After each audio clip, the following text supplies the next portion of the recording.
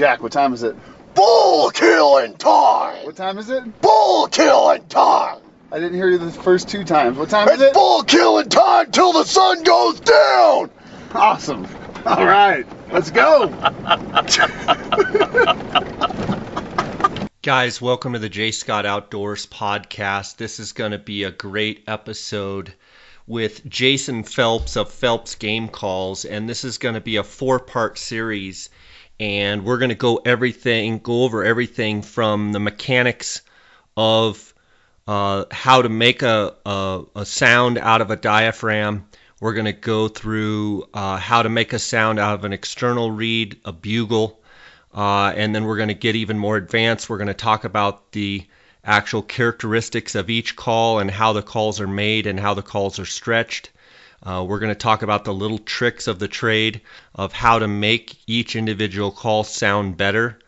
Um, and Jason's going to do a lot of demonstrating for us on cow calling, uh, how he likes to bugle, uh, how he likes to chuckle, how he likes to grunt. And so this is going to be a great four part series. And I know the listeners are going you guys are going to get a, a great bill, a great bit of uh, uh, value out of it. So I'm looking forward to sharing it with you. Uh, before we get to that, I want to thank my sponsors. Uh, I want to thank uh, GoHunt.com uh, Insider, and I want to announce that there's a real special promo that GoHunt.com Insider is doing for the Jay Scott podcast listeners, and that is it's a 30 day free trial exclusive for the Jay Scott uh, Outdoors podcast listeners. All you have to do is go to gohunt.com forward slash Jay Scott and click on the blue free trial button and go through the steps. It only takes a couple of minutes. You'll be required to provide a credit card, but they will not be charged until after the free 30 days.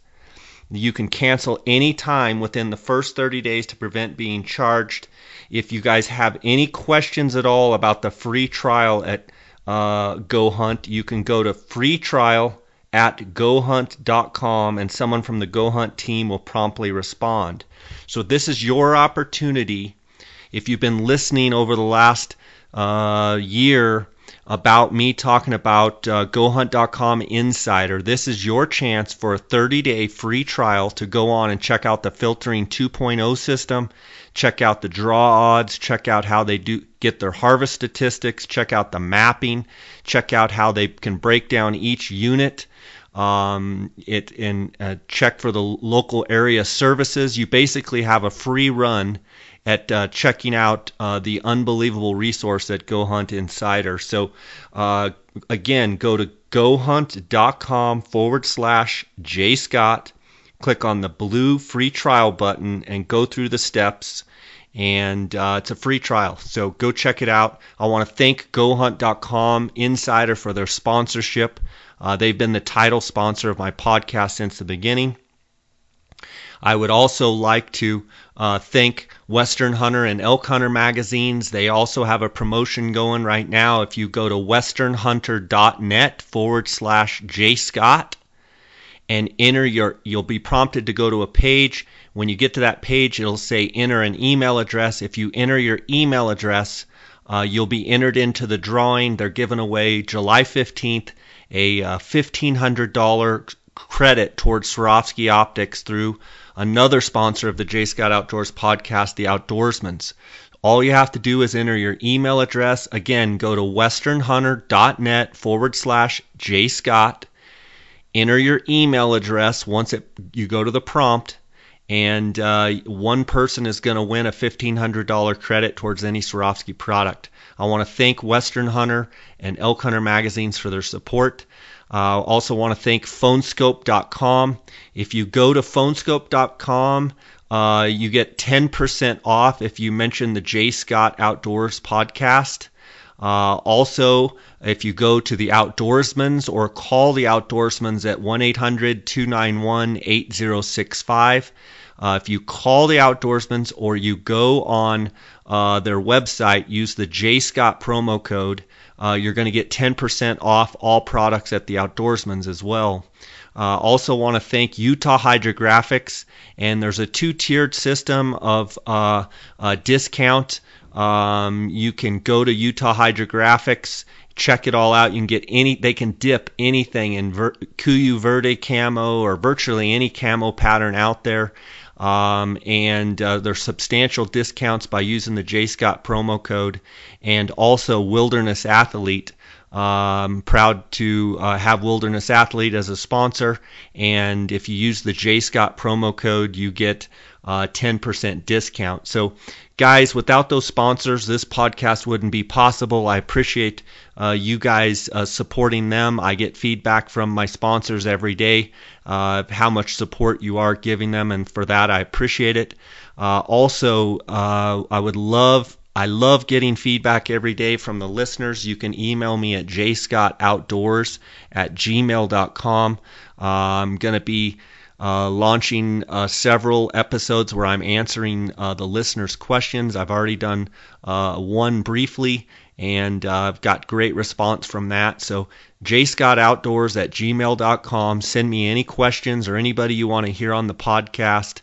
I get multiple emails, Facebook messages, Instagram messages, texts, phone calls every day from listeners, and uh, that's just awesome. I thrive on that.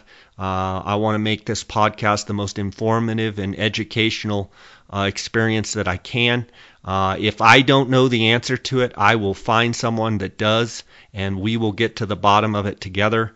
I just want to thank all you guys for um, just just unbelievable support. Uh, thank you so much. Uh, make sure to go to jayscottoutdoors.com. That website is uh, uh, under construction right now, but you can kind of see all the different things that Craig Steele at CS Creativity is doing. Uh, he's uh, revamping and centralizing everything. So it's basically you can go to jayscottoutdoors.com. You'll be able to click on Instagram, my YouTube channel, my Facebook page, uh, all my different blogs. Uh, right and and of course uh, this podcast um, you can listen to the podcast right on the website you can link out to itunes you can link out to podbean um, so it's uh, he's doing a great job, and uh, there'll be more and more content put on there as the days go by. So make sure to check out jayscottoutdoors.com. Also, um, I'm I'm making a transition in Facebook um, to posting content on the Jay Scott Outdoors business page. So just go to Jay Scott, type in Jay Scott Outdoors, come like my Facebook page. Uh, I'm maxed out on my personal page and um, we're moving all, uh, pretty much all the content uh, over to Jay Scott Outdoors business page. Guys, again, thanks for your support. I, I, hope you really enjoy this four part series with Jason Phelps of Phelps Game Calls. We've both been talking so much, I don't know, you might have to take a swig of water, but let me hear your challenge bugle. Okay. Uh,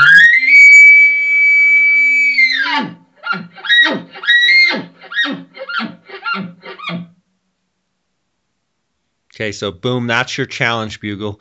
Do you have what you would call a locator bugle too? That's more just you, you're just trying to see who's in the neighborhood, what's around, see if a bull will answer. Yeah, so on my locator bugle, because sometimes a bull may be close to me, I don't necessarily want to initiate uh, uh, initiate that bull coming in yet. You know, I don't want to be, you know, with lack of a better word, caught with my pants down at the time, or give him a chance to run away.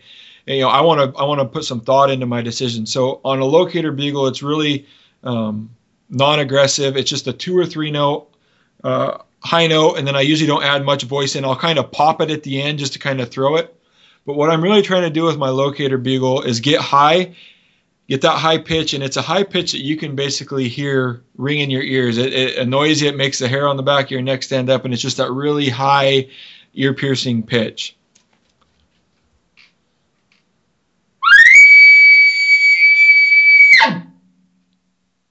That's typically my locator bugle and i try to do that every 200 yards or you know every time i get to a new finger ridge or you know anywhere along the way that I, that I may be presenting new elk i want to try to, to let that locator off. I feel there's no harm being done by locating you know more often than not. Yeah no absolutely. Okay um, let me ask you a couple quick questions. What are your number one selling mouth bugle calls um, the boss and the beast. The boss was last year, and then I would say the beast is probably taking over this year. Um, and the Dragon Slayer has always been very, very consistent and very, very close um, in sales to the to the boss. And now I think this year between those three, they're probably splitting a little more sales. But uh, those three, the boss, the beast, and the Dragon Slayer, are all kind of right there. Um, and are those all multiple reed calls? Yep, the Dragon Slayer's the two and a half reed with a, a, the ghost cut out of it, and then the Beast and the Boss are both double reeds with V notches out of them. Okay. And what are your top selling cow calls? Uh, the Elk Commander and the Signature Cow. Um, the signature cow is is a designated cow call. Very very few guys will ever be able to bugle on it. Um, you know, there are some that can, and then the Elk Commander is a is a really light loose la- uh, a light latex. It's stretched a little bit tighter than the signature cow. It allows you to, to bugle a lot easier, but it doesn't hold up to grunts and chuckles very well. Um, so the Elk Commander is is the call I tell a lot of people to learn on. Um, just don't get frustrated when you can't you know do big deep grunts with it. Okay, and then as far as external, I know you have a handful of external calls. What are some of your top selling externals? Yeah, by far the Easy Estrus um, is my best selling external. I also have the Director, um, which I I still have the molds and everything to it, but I phased it out. It was just a cumbersome call to build. Um, I really liked it because it was really, really soft for guys that wanted a, a little bit quieter call than my Easy Estrus. Um, but right now I'm just running with two. I'm actually in the process of getting uh, a new one made. Um, it's a little bit different than anything else I've seen, and so we're pretty excited. But that's most likely going to be a, a, next year's release. Awesome stuff. Well, um, we've covered a lot of ground today, and I really appreciate you spending time with us here and uh, it's been awesome watching uh, you progress uh, as a caller. Um, you know, you get better and better every time I, I, I hear you. And um, you're a fantastic caller, great guy, and you obviously make great calls. Um, and it was also, um, you know, you you killed. Tell me about this bull that you killed that was an extraordinary you know extraordinary bull uh, for where you killed it and and um, tell the listeners a little bit about it. Yeah, I'll, I'll start off. It was I used to hunt um, Cascade Roosevelt's here, which if you draw a line which follows up I-5 west of I-5, at least within our own state in the Pacific Northwest big game, west of I-5 is a true coast to Roosevelt the area between the Pacific Crest Trail and I 5, they have a designation called Cascade Roosevelt, which you get up in the mountains a little bit more hunt alpine um, bulls. We went out there and hunted a few years in 08 and 09 and ended up just coming home halfway through the season and killing um, coastal Roosevelts. Um, in 2012, um, we had really bad fire danger here and basically got kicked off of you know, or, or, locked out of the country we were hunting, and we ended up going back up to our old stomping grounds that we had hunted um, back then. I had we I went with a partner that I'd never ever elk hunted with. We had three days left and uh, went up in there, climbed up into the basin that we were hunting, and uh, instantly within you know two seconds of throwing my binoculars up, I had spotted a cow. And while I was watching her, it was almost surreal and, and not real. Um, watching this bull walk into view, um, you know, checking on her, uh, and instantly, you know, you go into game plan mode. It's a second to last day of season and uh, we pull the GPS out, figure out a way to drop into this basin from the opposite side where we had the wind right, and we were there within half an hour. I was actually not supposed to be the shooter this day. I was going to call for my buddy. Um, he had kind of pigeonholed himself into a, a row of um, subalpine trees that basically was like an impenetrable wall. He couldn't see in or out. And I called this bull into 50 yards from me and only 10 yards from him and, and that bull sat there for probably three minutes and he had one of the most ear-piercing deep thunderous bugles ever and my buddy got the fortune of listening to it from 10 yards away with no shot and that day um, he was going to turn and i was literally only you know, I don't know how far I was away at that time because I never range found him. I had the time to knock an arrow though and get an open shot, um, and I guessed it uh, for 55. He was only 45 with a little bit of a downhill, and I shot right over him. And I can remember just being sick. You know, by far the biggest bull I'd ever seen on the hoof, especially in my home state of Washington. And spent the next day uh, or that night looking for him. Um, we were fortunate enough to go back up in there. There were some other hunters in that area. And as soon as they left, I hit one of my high pitched locators, and those guys had bugled their way all the way through the basin, and he responded to us coming up our side of the mountain. And we knew we didn't have enough time, so we backed out, went to camp, and came back in the morning.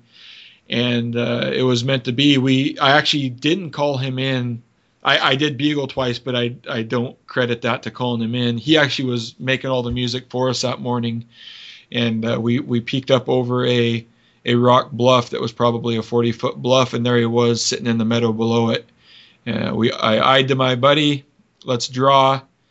Um, you know, let's back up, draw. We'll both peek up, and on the count of three, we'll we'll both shoot.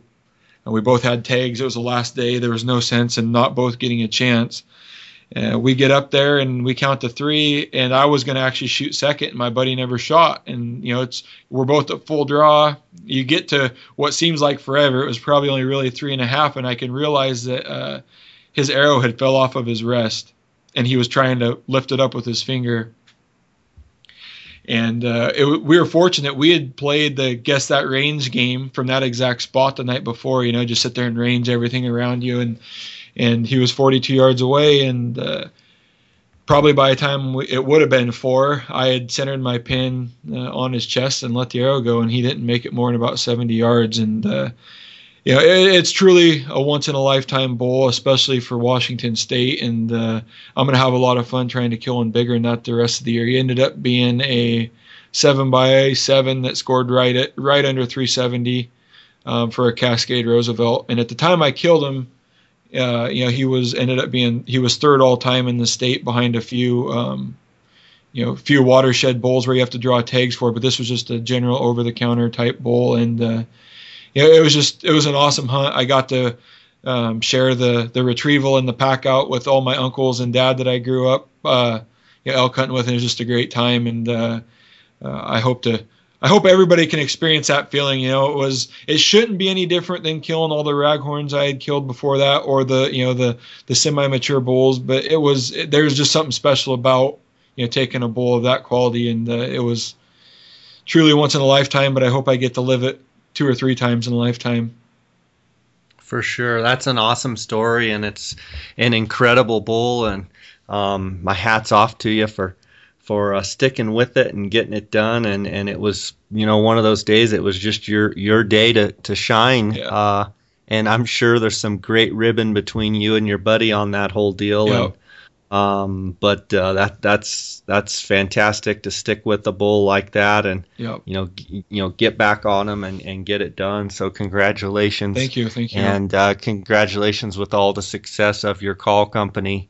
Um, and I know our listeners are going to really enjoy this episode, uh, or the, these this this two part series episode. So, um, with that being said, buddy, uh, want to give you a chance to let everybody know how they can get a hold of you.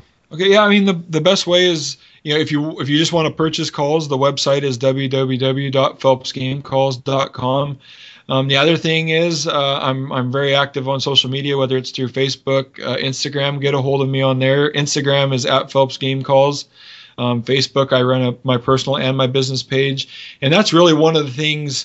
I, you know, a lot of guys hate about the businesses answering emails. I just love the interaction and trying to get people into the right calls, even if it isn't my call. That's I, I, try to be the guy that knows about every bugling bull call, every primos call, every you know Barry game call, whatever call it is. I, I have stacks and stacks around here, and if I think that what you're describing to me would be better suited for somebody else's call, I take pride in being that guy to recommend you know what's going to work best for you, not just put you in one of my calls. Um, but yeah, feel free to reach out to me. Um, a lot of times, you know, I, I'm one of the I'm a younger generation guy. If you email me, a lot of times you're going to get a text back you know within an hour or two, and, and we'll just handle it that way. It's easier and more efficient for me. Um, but yeah, uh, feel free to get a hold of me through the website, social media, um, and and through that you'll eventually get my phone number, and we can you know deal with stuff and, and answer questions that way.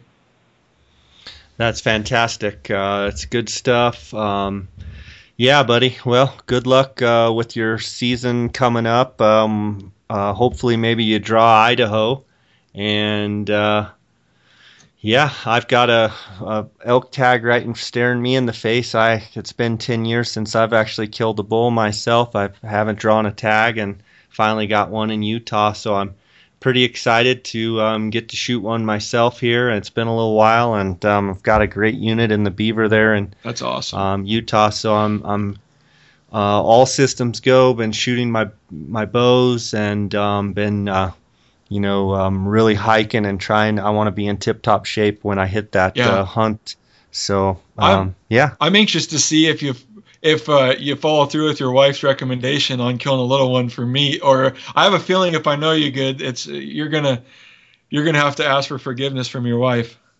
Yeah, I'm I'm uh, I don't I don't mind chewing a little bit extra on on a little bit of tough meat. I'm I'm definitely going to go and try and get as you know good a bull as I can get, and you know sometimes that happens, sometimes it doesn't, but I'm going to have a great time doing it. And you know, like I said earlier, I I enjoy elk calling, I enjoy the sport of of elk hunting, and uh, I am a trophy hunter also.